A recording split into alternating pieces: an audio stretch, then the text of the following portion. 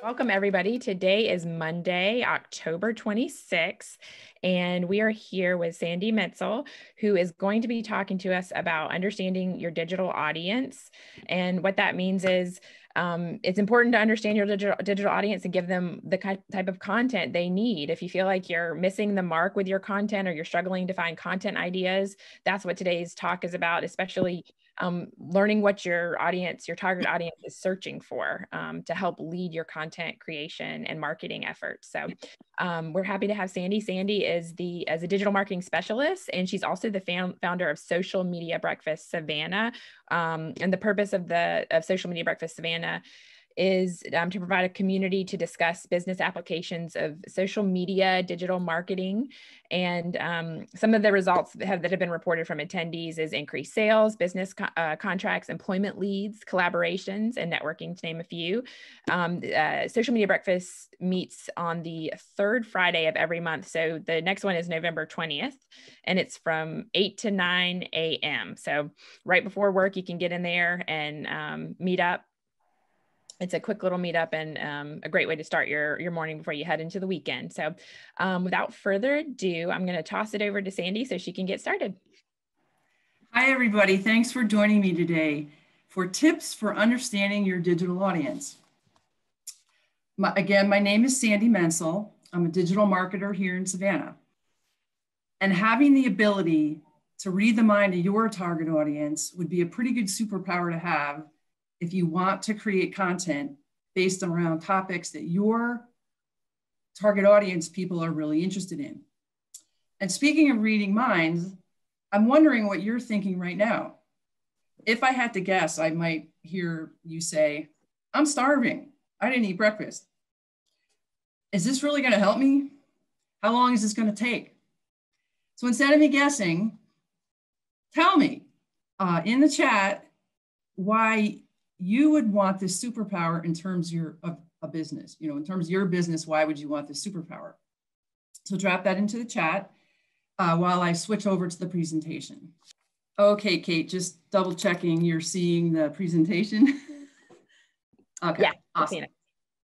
Okay, so at any time during this presentation, if you think of a resource or a tool that could help the group, please drop that into the chat. I am all about collaboration.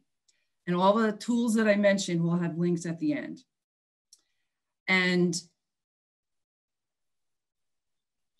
if anyone entered something into the chat why they would want this super tower, um, Kate, would you mind just kind of uh, keeping an eye on that for me? Okay, so. Yeah, we have a couple people that have put things, uh, better sales, said Emily, and Jeremy said, I want to to build something that people want to rip out of my hands. They want it so bad. Victoria said, so that it can meet their needs to the fullest and help alleviate their pain. And Emily said again, more targeted messages to specific clients. Okay, awesome. So here's a quote from a small local business owner who creates videos. At a recent meeting, he said to me, Sandy, I'm struggling to get repeat business because my clients say they love my videos, but they are not getting the results that they'd hope for. Having the superpower of reading minds would come in handy for him. What you're going to learn in the next 30 minutes an overview of finding competitors, an overview of ways to uncover actual phrases used by people searching online, and five ways to understand your digital audience. Finding competitors, utilizing search listening tools, Amazon reviews and communities. I've been doing this type of work for six years. I've worked for clients in the healthcare, fitness, legal, retail, and nonprofit industries. And for reasons unknown to me, I get energized talking about digital marketing is one of the reasons why I founded Social Media Breakfast. And that picture is some of our community at Foxy Loxy. Outside of work, I'm a group fitness instructor. I dislike cooking, and I dearly love that little boy on the screen. That is my grandson, Teddy. love him so much. So as an overview, here's a framework of how a business might lay out its marketing goals. Today's focus is on the research phase. And using that framework and adding some of the SMART aspects, which are specific, measurable, attainable, realistic, and timely, here's how you could lay out the marketing objectives for a business that conducts historic tours in Savannah. So the service you're selling are historic walking tours. The content you want to create are videos. You want a video created. Your target audience is going to be uh, those that are of age 50 and up who are visiting from out of town. You want that video done by the end of November. And the social channels you're thinking of using are YouTube, Facebook, and Instagram, with the goals of getting 500 impressions of the video, which lead to 50 website clicks, which then in turn books 10 tours. It's always important to start with that business objective. And if you wanted to read my mind, as a digital marketer, what we wish business owners would understand, sometimes the research reveals information that affects the objective. Again, today's focus is going to be on that research step. So um, today we're looking, the first thing we're going to look at here are competitors. Again, just as a reminder, any other tools you can think of, please drop them into the chat. So on the left is a picture of my Live Oaks Public, Public Library card. On the right is a screenshot of a search I conducted when I entered historic walking tours near me into Google search. This presentation is going to focus on two ways to perform competitor research using our local library and Google Maps. Of course, there are other ways to do this. And why do we do this? It may reveal competitors you may not have realized you had, and it can show you which types of businesses and how many are in your area. And out of curiosity, I'd like to know, do you have a library card? Just wondering, it's a kind of an underutilized resource here. So this is the homepage of our library. And the first step, we're gonna access that A to Z database. All right, Jess got her first card when she was five, that's cool. Um, to save time, I'm not going to go through detailed steps, but I did create a five minute video that walks you through all those detailed steps. So you're going to access the database by going to the library. Make sure you grab that library card before you start. This is the homepage of the A to Z database once you log in. It is a tool that extracts information from various public records. The CIS and NAICS codes are categories that the government uses to classify businesses. And this database will pull data based on your sort criteria and return records based upon your input requests. For example, going back to the business offering historical walking tours here in Savannah, after entering the sort options, you want to then run some reports. Here's a report of the list of businesses that offer tours here in Savannah. When I put in the sort factors, I returned, it returned about 70 records. And that sounds about right to me. We have a lot of tours here in Savannah. If I had gotten, you know, 20,000 um, hits back, I, you know, would have known that probably is not correct. So I would have had to sort it further, but that sounds about right. And then drilling down a little further, this is a detailed report of Old Town Trolley. You can um, see here that the, one of the top things that I want you to note uh, is the area competitors. You're also able to access an overview of the business, the SIC codes, there's some revenue. That's of course if the business inputs this information. But in terms of competitors, it's it's just it's very useful. So another type of report is this pie chart, which if you're a very you know visual person, you're gonna like this type of report. And this happened to show, you know, there were 44% of the tours are considered tour operators. And then the pie chart broke it down further than that. And it just gives you a really good gauge of who you're really up against as far as your competitors. So here's the takeaway of all this. Once you see who your competitors are, you know, they're doing similar business to you, do a deep dive into their social channels. Look at the natural language that customers are using, and it will give you some good tips about their target audience and how they're able to serve them. And a pro tip for this, these reports, if I ever go on a job interview or something like that, I always run this report.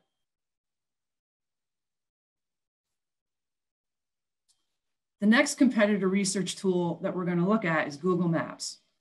And I just want to take you a minute to pause here and really take a look at this statistic. I uncovered this image this week and I'm so glad I was able to share it with you. Did anyone, does anyone realize 70%, you know, Google Maps is used by 70% of monthly navigation and map app users. This is huge. And it's very important if you want your business to show up on Google Maps to verify your business with Google My Business.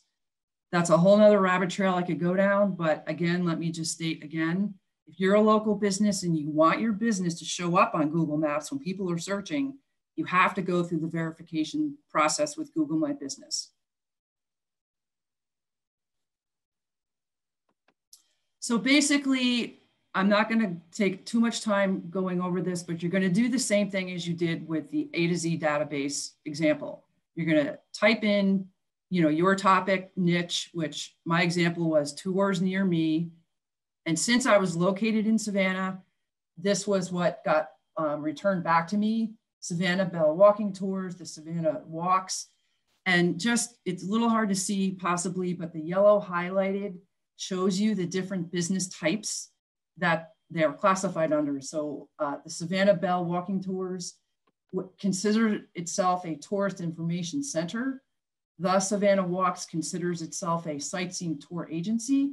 So again, it's just a way for you to figure out who your competitors really are which business most closely aligns with yours, and then do that deep dive into their social channels.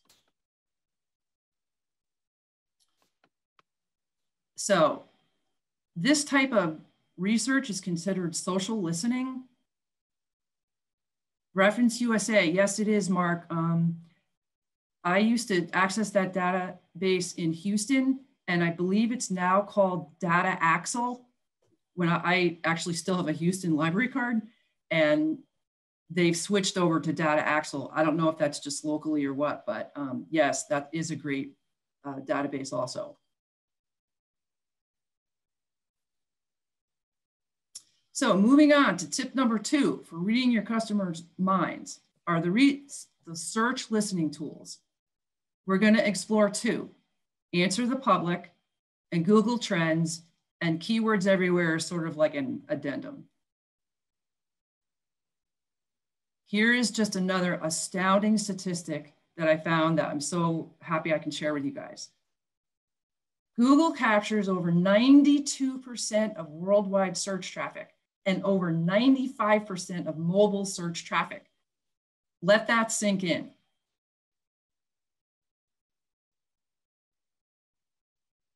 Here's a definition of search listening.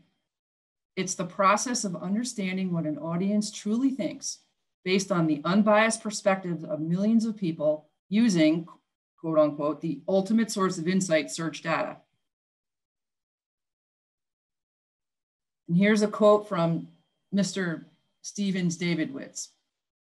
Google searches are the most important data set collected on the human psyche. People type into Google search things they wouldn't reveal to their closest friends or family members. They're asking Siri questions and they're usually they're using just natural conversation language. It's very powerful and slightly creepy. If anyone is brave enough, drop something in the chat to share with us what you've searched for lately. Nothing nothing risque, but go ahead and let everybody know if you've searched for something that maybe you didn't tell your closest friend.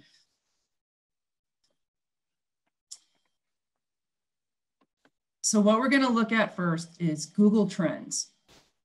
Google Trends is a website by Google. It displays historical data of the regions where your search term is most popular and offers up related topics and queries which are popular or trending. It helps you understand the context around the thoughts, feelings, and behaviors of consumers. And what you see here on this chart is a real life example of a sort I did for a window, window covering retail business. The business sells two types of products that I was looking to do research on. Window blinds, which are shown in red.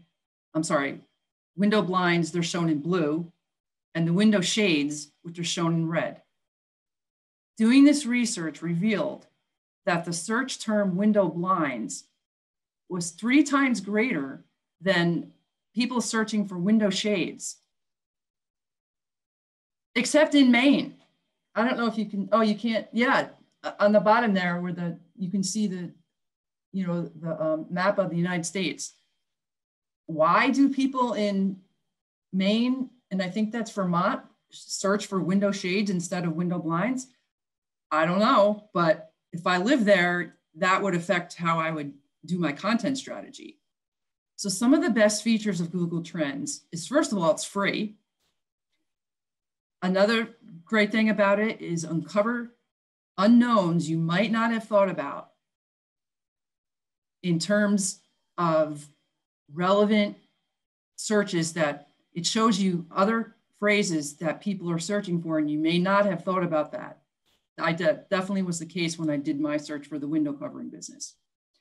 It also can narrow in to the state level. And in some of the um, aspects of the tool, you can get a little more granular, uh, but you're not always seeing, I would like the tool to go a little more granular, but it doesn't.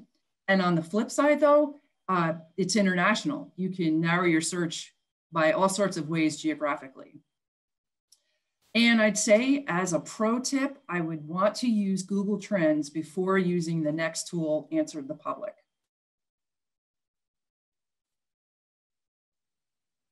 So this is the homepage of Answer the Public. Believe it or not, this dude isn't as creepy as the previous dude.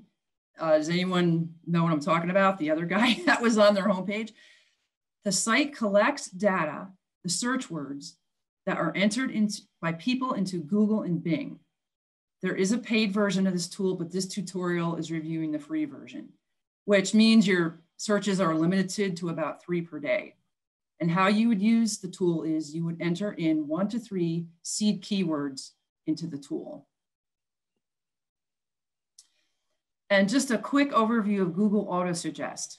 You might have noticed that when you start to type something into Google search, words suddenly appear because Google is trying to guess what you're looking for.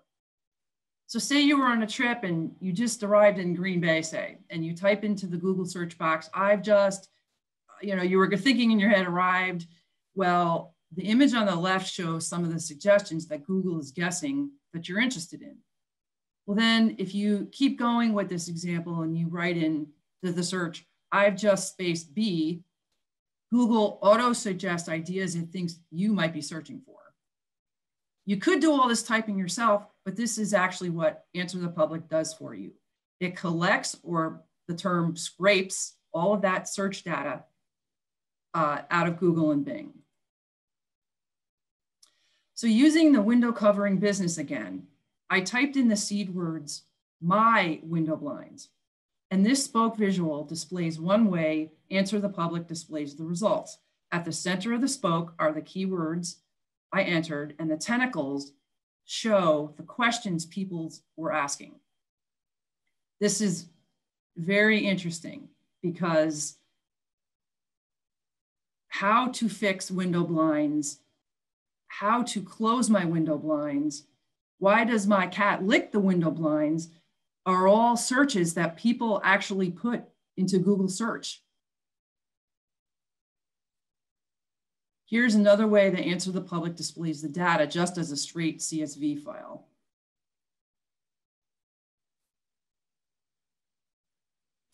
Here's a display of just one of the spokes with the preposition without and the resulting search phrases. This is where it gets really interesting as a content creator and the tool really shines. The phrase window blinds without cords is something that people have been searching for And the next phrase is window blinds without strings. If you notice also, the top choice, window blinds without cords, has a little green circle next to it. It's a, a darker green than the bottom phrase, window blinds without hardware.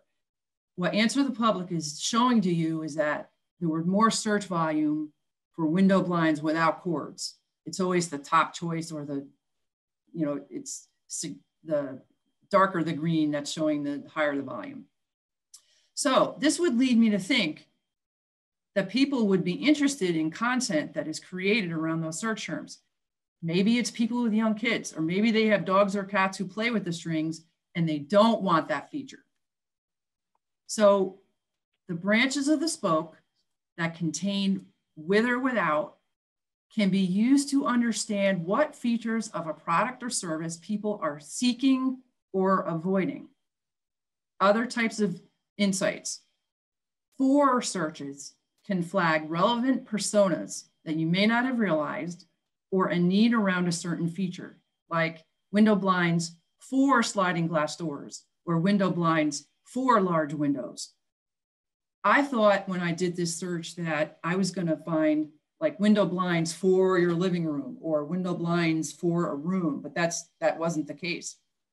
So using the example for four also can reveal those you know other target audiences because say you walk say you found um, there were results that were when I put the word walking tours in for what and what if it came back newlyweds or walking tours for history buffs? Though that would be an example of another type of persona that you then could create content around. And lastly just an insight around the can searches. They're considered validation searches. People are looking for validation around the term can shades be washed can they be cleaned? Can they be repaired?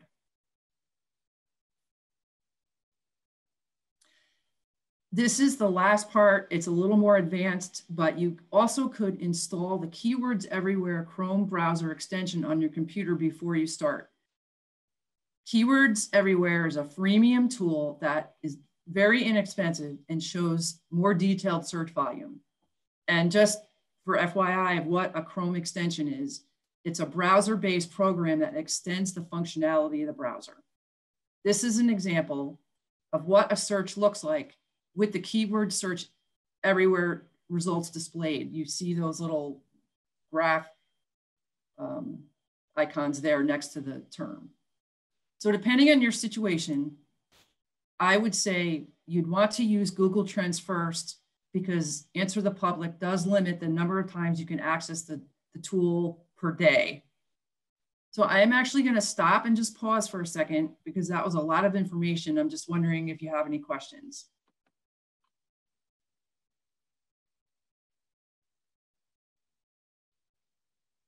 Okay, I'm going to keep going then. So the third way to read minds is Amazon. Depending on your niche, Amazon may be a gold mine of consumer insights. I want you to possibly close your eyes for just a minute and just listen to the review that I uncovered in Amazon. And this was, this was again regarding a search I was doing for window coverings. This is an actual quote. These shades were great for about a year, but one by one, the adhesive failed. So I glued them and then the plastic became brittle and began to rip. So I fixed the plastic. Then the mechanism failed. And now I have these garbage things hanging like bits of phlegm from my windows. If you were in a dorm or renting a house, these might work, but sheets work better. They are big, cut to size, and you can hang them with nails and tape. And they are cheap, $9.99 for these babies. And if you move, you can sleep on them double win.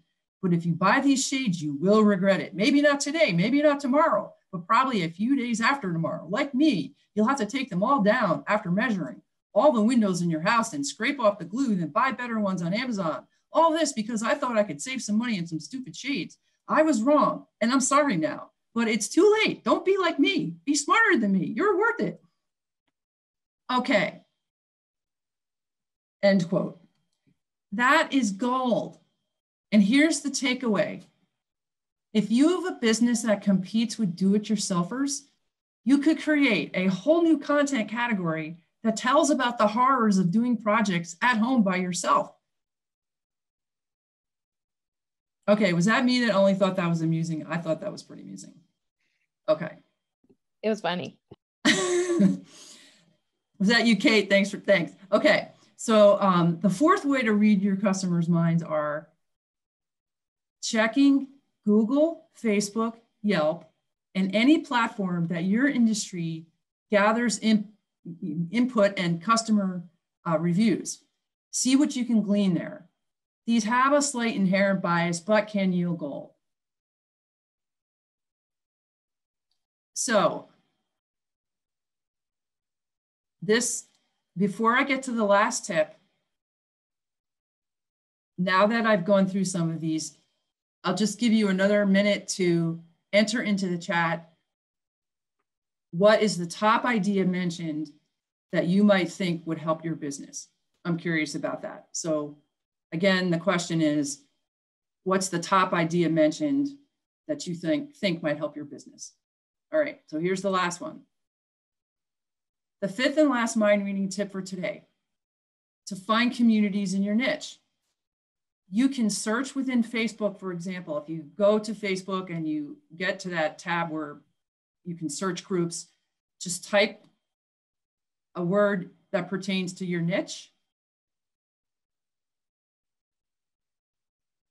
I'll get to that question in a second. How important is it to change up your content and your marketing campaigns? Um, so, you know, type type in your niche keywords there, and you'll probably be surprised to see a group that might pertain to that. And here's what I'd say. Join the group that aligns with your business and be respectful, add value, don't sell, but you can really uncover a lot of what people are really thinking by being a part of these um, groups and communities. And again, I'd say though, as a general rule, it's not really where you're going to want to do your selling. It's where you're going to be an observer. But I also feel, you know, being respectful and trying to add value is always a win-win. So those were the five um, tips I had for you today. It's my conclusion that at least one of these will help you create content that aligns with what people are searching for, with the ultimate goal of boosting conversions for your business. And a good marketer should only offer you one call to action, but I have three for you today. So pick one of these ideas that I've mentioned today. Set your timer for 15 minutes and dive in and see what you can uncover. Um, go and like the Social Media Breakfast Savannah Facebook page. You'll find out what the speakers and topics are. Uh, if you have any questions, you can contact me.